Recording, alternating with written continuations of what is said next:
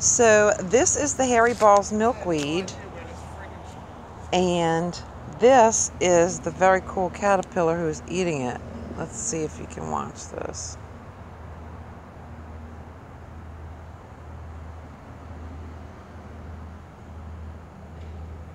Oh, he's not going to do it because my hand is on a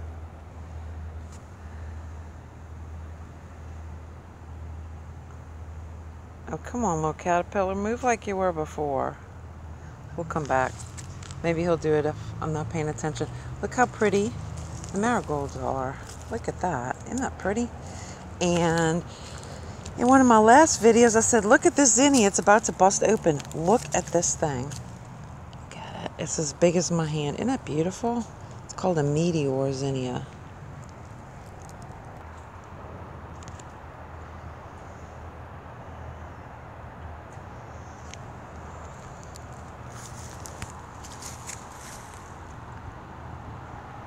Okra's way up there. So hey everybody, some really disturbing stuff happened to my little Kajari melons here. Look at that.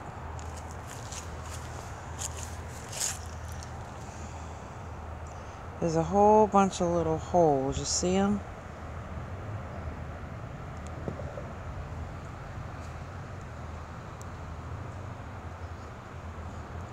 Worms. They got the bigger ones, they got the smaller ones. So I am spraying Caterpillar Killer with BT.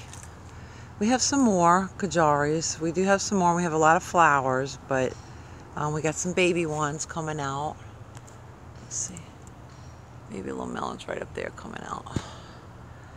But yeah, um,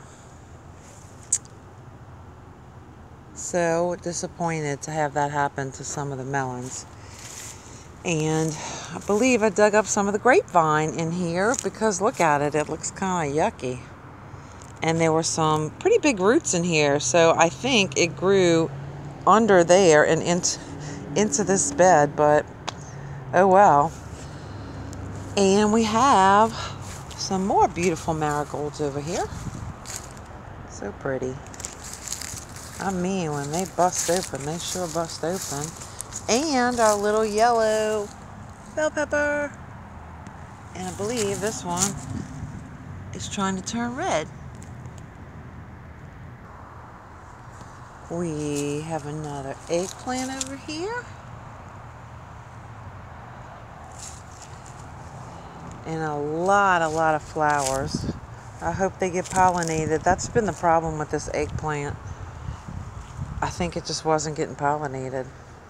And I'm in the process right now of tearing all the dead beans off of this cattle panel trellis. Hi, girls. Hey, girls.